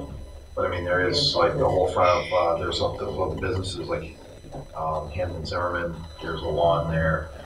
Yeah. There's not much lawn on the other side, Yeah. but we still could look, because you kind of, it's still again, you know, Pleasant Street obviously is still, in my mind, a priority where we should try to go back and just take a So look maybe at that, are you putting that as a, instead of Bridge Street? Um, I'm not completely moving Bridge Street yet, because I still feel like there's some, but, but I do have, uh, that we wrote in that little priority zone box, ask the tree commission for more suggestions, so Pleasant Street, including the roundabout. Um, And, and you know, anyone can always go on here and, and, you know, add things. So if you have other suggestions for uh, priority streets and priority setback zones, feel free.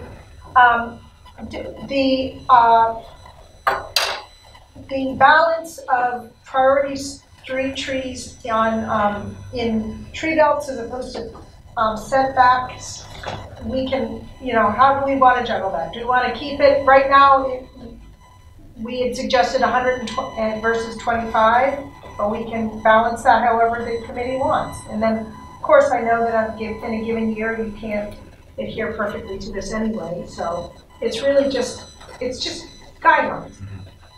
My only, my only question is that because we seem to be on the path of planting more trees every year, um, does the commission want to revisit the, the two fifty max number? Or do we just want to leave it at two fifty and then when we have the ability to plant more, we just concentrate on the, the priority locations that are listed for that particular year? Because last year we planted two hundred and ninety-seven. Yeah. And, you know, we said two fifty. But, you know, nine of those, for example, or nine, eleven of those were trees that were donated, you know, the, the uh, chestnuts and the two red buds, right? So those, but those still count towards our overall planting. Um, You know, and I, Tree Northampton planted a few on their own. Got us all total is a group over three hundred. o- over three hundred. But I mean, so I, so every year that we go, so for example, you know, I keep track of this just because of our growth award, so every year we ex, we seem to be pushing our own limits. Um, and we are eligible for a growth award this, for this past year. So I don't know if that's something that you all wanna think about and if, if you We feel, can- if you feel it. this number to 300 if you want. Well, I'm just feeling like it's, at this point, we've, we've done one year where it seems to be sustainable. The question is, will it be sustainable the following year? Well, you know what your, I, I'm just thinking about what your crew didn't have to do last year, which is water. Well, we did water though. You did? We did water You right, did right, water? right into August and then we stopped basically. Uh-huh. But you probably weren't humping it like you were the year No, before. oh, no, no, no. No, we had two people watering the prior two years. We only had one person watering and still actually, we had about 300, 300 and some odd water bags out there, but we didn't need to water them as, you know, won't fill them as frequently because of the fact that it was raining in between. So I think that's a confounder that can really affect the number of trees you can handle. Right, the other sustainable, the other issue is t- two things. One is that we're gonna have to start putting, uh, some kind of a trunk wrap on all these trees. Every, this, this year, every tree that we plant is gonna have some kind of, uh, a trunk wrap to protect it. Part of the reason is because we experienced on Orchard Street that we had, uh, trees got hit by snow, uh, snow blowers. Or shovels, I'm not sure, one of the two.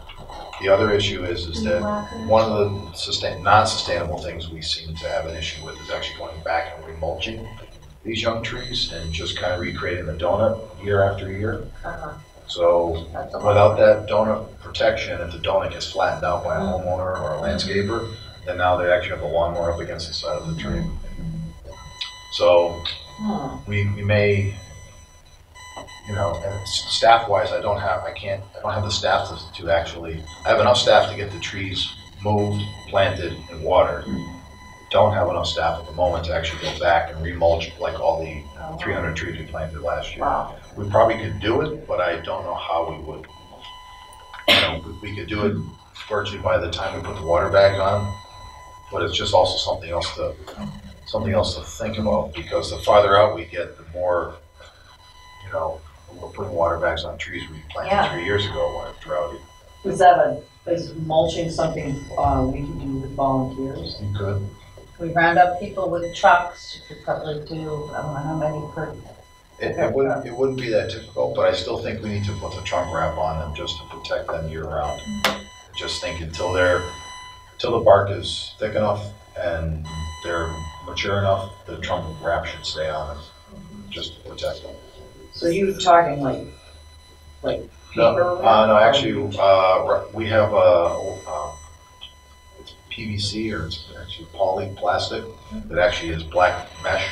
So it's breathable and we- Rob and I, Oh, so you're not rubbing it against the tree? no, no, it actually sits there and you can lift it up and down. Oh, like a tube, Right. like a sleeve. With, o- with a very open weave. With with an open weave. See, right? Oh, okay, I got what you're saying. a little- So somebody can't weed whack it. and- Yeah. Correct, so if you're gonna have to weed whack it, you're gonna have to pick the thing up and go like this. Oh, But but it it's, won't, it won't get cut through with a weed whacker. no, it will not. Oh. So, um, to, to Oh. wrap this up, I, Sorry. it sounds, that's okay, no, it just sounds like we should probably stick with two fifty, see three hundred as a bonus. And let, and, and if that's just, that also feels discretionary, like that's also maybe more setback trees, or, you know, it just feels like there's, why not just keep that flexibility? It's, um, we're definitely doing American chestnut trees again this year, so we'll do those. Um, you know, why, why create more stress on ourselves before we, um, we've gone through this enough That's fine, years. just a, How many years after the planting do you keep watering? well, uh, we did, uh, four years probably. Wow. Because the first year we planted, we had, us- we had enough, we had almost normal rainfall. In two years, we had below normal rainfall. This past year, we, we had above normal rainfall. But the problem with the rainfall is that it's coming at, it's not one inch per week any longer. It's like three Right. inches in a week, and then there's And two nothing weeks of per- half an inch, and then another week of six inches. Exactly, And so it's, there's these strange spikes which are inconsistent. So, so yes, about four years probably. So there's a potential for a lot of water rights. Yeah. Potentially, if we go into a drought again, absolutely. Yeah. So the growth awards only measure the No. number of trees planted, or do, will they account for all the pruning? No, they, they, they account for, for example, um, which we couldn't, we couldn't, I couldn't do this year, but they account for the tree speed program. Educational programs, uh, the landscape, like the educational outreach was one of the things that we achieved because we actually had a public education component. So to get the growth award, it's not just planting trees, uh, you have to show that you have markedly increased your planting, which we did from two forty-eight to, you know, two ninety-seven. And it also asked for the amount of volunteer hours, so that was the other component, so. Mm. So there's a bunch of different things for the growth award, so we can achieve that in a lot of ways. Most communities don't get the growth award two years in a row. Never mind three years in a row, so if you get it for three years in a row, it's, it's pretty incredible. Oh, great. But, so yeah, that's, so yes, to answer your question, there are other things. All right, I think I'm gonna move us forward. Um, an update from Tree One I'm gonna just look to Rob because, um, I've missed the Saturdays, um, and he's been out there Saturday. So we have been pruning trees really Tuesday, Wednesday, and Saturday. And, uh, With Rich, he's been there with us pretty much all those days. Um, We are getting through a lot of larger trees, which is very uh, time consuming. We, it's taking an hour per tree for Wow. two people. Because these trees are already, I don't twenty feet. Yeah, well, the trees, I, I counted a ring, and that was seventeen years old, the tree today. Okay. Seventeen-year-old trees, at least seventeen years old, so, uh, we're really working hard on on doing them. It, it means that it's hard to judge how many trees, like, once we're out of doing these larger trees, that they were neglected, mm-hmm. because they were planted ten years ago or longer, twelve. Yeah. So, by neglected, it just means they weren't young tree trained at the appropriate time, so there are a whole bunch of us that are working hard trying to pull it under control. I think once it's under control, this, we'll be working on the smaller trees that we have planted um, since this program really got going.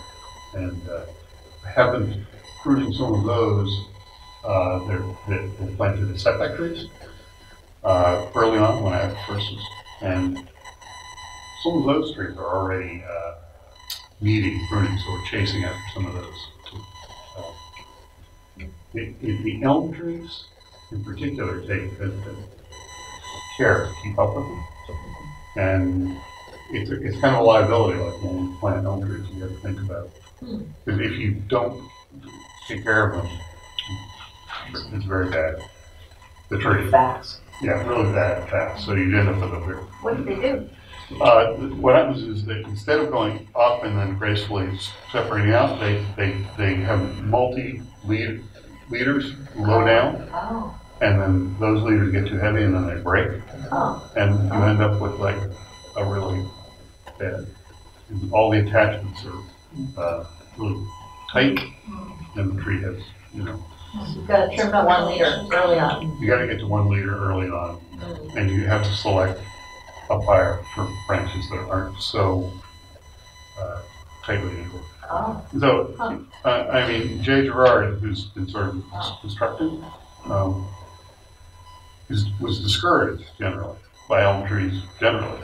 Um, but, um, thought that the Princeton elm that we have been planting looked pretty good in terms of being able to control this issue. It's interesting because the, um, the American elm down on Conz Street, that corner there has a coat elm instead. Just look at any tree, even the trees I planted twenty years ago, I, I am ashamed of the fact that I never went back. Yeah. Well, it's unusual, I mean, to be honest with you, it's very unusual to have like follow-up like that. It's, It- it's I mean, unheard of, you it's, just can't- it's you set can't it, do set it and forget it. really. Right, right. But the, but the payoff, like down the road financially, and you have a, a wet storm like, you know, two thousand and eleven, Right. you know? The payoff is every tree that we go and we remove, or we have to do, um, a tree clean, which is, you know, basically removing all the crossing branches and dead branches. Ninety percent of the time, those trees were never trained, and the reason that they are failing is because of that. Um, and, you know, obviously site conditions, but it's just, and some we're talking trees that are over thirty inches DBH that we're having now to go take huge limbs out of because they failed. Mm-hmm. But now there's, that, that cut will never seal properly, so that tree unfortunately is kind of sealed its fate in a sense. oh, wow. So I felt a lot of respon a lot of interest in trying to catch up with this issue from Rich particularly, but also I, I see it too, and I look around town and I'm, I worry that we're not on top of it. But I will say that when I travel, kind of speaking to what Jen is saying, we're more on top of it than a lot of people. Yeah, yeah, yeah, yeah. But when you go to Europe, they Yes. know how to train trees, like it's part of their culture. Well, there's just a heavier management, a horticulture management in general, Yeah. and people have Yeah. higher awareness. But looking at, in terms of load and how many trees we're planting each year, um, how are we ever gonna keep up with all the pruning? Well, that's what I was, Three hundred trees a year. that's what I was referencing, is that at the current rate, because we're pruning trees that are seventeen years old, Yeah, right, we can only do two people, two, it takes an hour to do a tree. right. But if we do them at the right time, Mhm. it's twenty minutes, or Yeah. fifteen minutes per tree. Right, right, right. And, and so hopefully we'll be good at it and it'll be fifteen minutes a tree and we'll do it at the right time.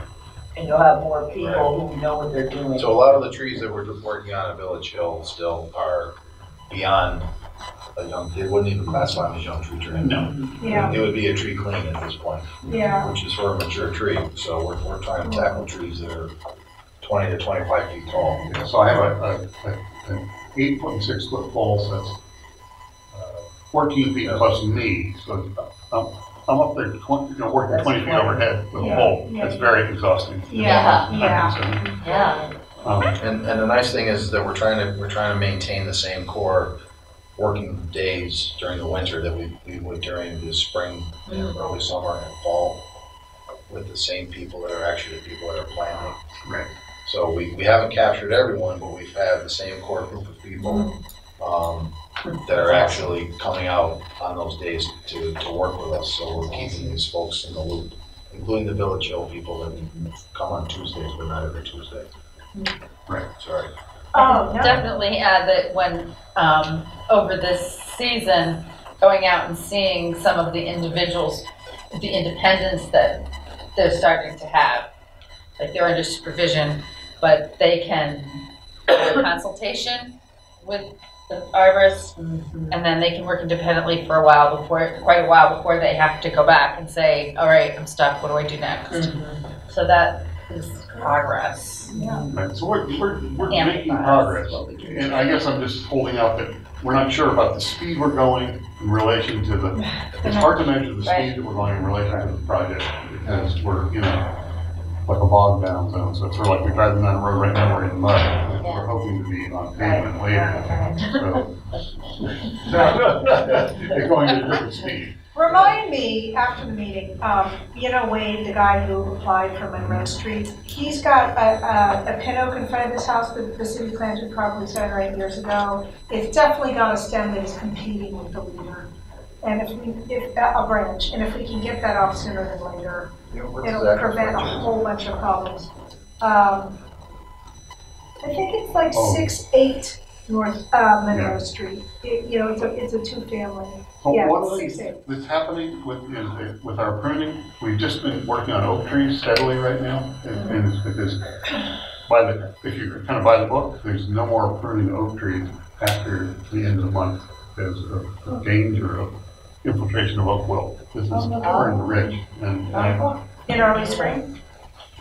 Yeah, So, you know, They, re- they recommend only pruning oaks now during the dormant period. Even though oak wilt is still in New York, they recommend that we don't create, uh, any sap flow, unnecessary sap flow, uh, especially in the spring, early summer, because, um, of the beetles that are in the tracks that actually carry the oak wilt. They're, they're the vector. That's one way of doing it. The other way of getting oak wilt is from grafted roots. So we're trying not to prune oaks unless it's an emergency. Until the dormant season, which will start again in the middle, middle of December. So it's like December till the end of December to February. the end of February. And I, Rob and I, when we went to, uh, uh, the tree wardens conference, uh, Nick Brazee, the plant pathologist, said that's the recommended pruning time now for oaks. You have to prune them.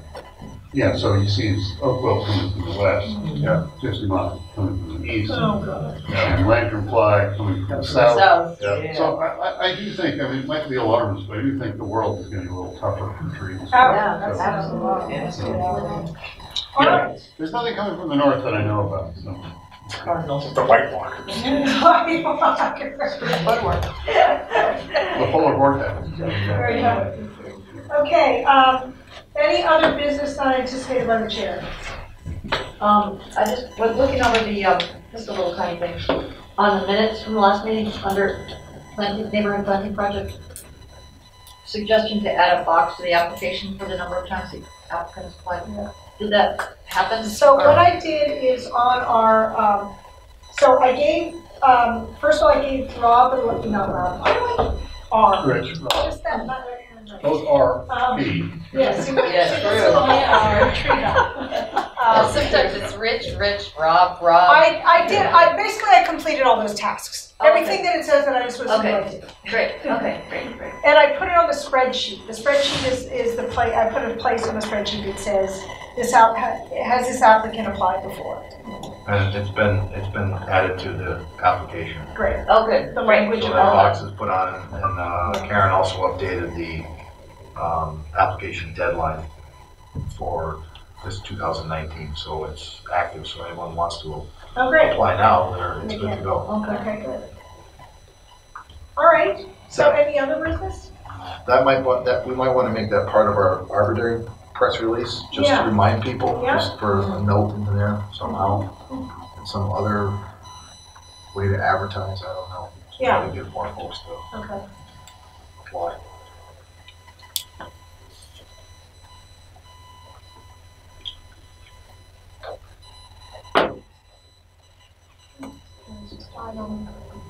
Bob? Good thing you brought me back. No, I'm done with anything done today. Okay. All right, um, to-do list. We didn't really generate a lot of to-do today, did we? This is fast. I, I have not identified anything that I need to do, so I'll skip myself. Nice. Think about it. All right, Sue? It wasn't clear who um, Marilyn or I just going to email principals about, okay. I have something to do. Okay. Uh, it's not on the agenda, but uh, I still have to work on the, uh, amending the existing permits to include public shade tree protections. Todd, can you also start giving some thought about language regarding, um, revising a significant, the significant tree ordinance? Uh-huh. Okay, thank you. Uh, One thing I just wanted to mention, it's not, uh, the, uh, there's the number three series of the Plainfield Tree Talks, I should have mentioned this before. That is February twenty-eighth, two thousand nineteen, uh, between seven and eight fifteen PM. And the, the topic is climate change, extreme weather, pest disease, and street maintenance, and all the volunteers. And the main speaker is uh, Rick Harper from UMass, if anyone is interested. It's Where's at this? Plain- At Plainfield Town Hall, Plainfield, Mass. February twenty-eighth. Yes. At what time? Uh, seven P M. Okay, sorry. It was my pen, which is why I took the, Oh, the liberty of licking it. So I I have, uh, I only have, I have just the email Marilyn, but that was last time, and I also have to get to Marie Westenberg from the YMCA. Um, You um, Monroe Street, Oh, thank you, yeah. You'll see, you'll see Yep. exactly what I'm talking about. that's. Uh, I gotta work with Alicia to finish up the, um, setback planting brochure, which is very nice, by the way, which is gonna look great, so. She's amazing. Other than that, I don't think I have anything else to do. Other than all the other stuff you guys gave me. And your job. Uh, I'm gonna get back to Lily about the Monday, March fourth gas line info session as, um, next day or two. And I will, um, when I get the, uh, brochures and the poster or the, uh, postcards about the Arbor Day contest, I'll take it to the elementary schools. And then, um, I will also contact the Julie at the YMCA tomorrow regarding the planting, and I'll just CC both of you, so you can see what I did. You might have to step in and, you know, it's thing, so. So I'll be continuing to prune three days a week. And it's probably not too early to start uh, thinking about planting, uh, upcoming plantings and how we're going to organize and recruit for that. Because it's like six weeks away. Potentially. So it's hard, hard to believe, Yeah, Yeah. wow, that is hard to believe. Mm-hmm. maybe it's not true. What? Well, it's no. Depends on the weather. Yeah, depends on the weather. could be sooner. But April first is a time when Yeah. it's a little more than six weeks. Yeah. Wow. All right. I'm gonna uh, revise the landscape letter and get the spreadsheet for Rich and share that with you. Um, is there more planning we have to do on the spreadsheet right now? Not for now, I just welcome other people to go visit it, and Okay. take a look. I think the only thing I have is to let Rich know if I'm able to go to that conference. They have time. Well, you know, if it's gonna be bad weather, like, I have to work or something, I won't be able to go myself, Oh, so I don't, I don't know. Oh, if it's bad weather, one can't go. Well, if it's like For me, it's bad weather, I can't plowable, go. if it's plowable, I won't, if we have to plow, I have to stay. Right, it makes it almost oh. impossible you would go, because if the weather's bad, you're not going. In which case you are going. You Yeah, have to go take to to your your place. But if you can't go, then maybe I could That's go. the solution. You There you could. Done. In, in certain weather conditions. Well, Right. the forecast for the twenty-eighth looks pretty nice. But the But thing is, is no, okay. it's, if it's raining, it doesn't affect you, but it does affect me. It looks like You guys can work it out. We'll figure it out. All right. Um, I, so I'm gonna help my daughter with the brochure. I'm gonna start working on a press release for Arbor Day. It's a little early though, it's, you know, it's on my list of things to do. Um, also, one thing I forgot to mention with regard to gas leaks is that I have a promise, we have a promising opportunity to create a, an, a a webinar for Rick Harper's, you know, Urban Forestry Today. He has a once a month webinar that he does through the extension service. And, um, so, uh, Bob Ackley and I have approached him about creating a, um, a webinar about gas leaks for, for tree wardens, and they get educational credits. So that could have a broad audience. I'm excited about that. He hasn't said yes, but he said he's, he's excited and that he'll, or he's interested. I wouldn't say the word excited. He's interested and he'll. Um, that's it. Okay, do we have a motion to adjourn the meeting? Motion. Second. All in favor? Aye. Okay.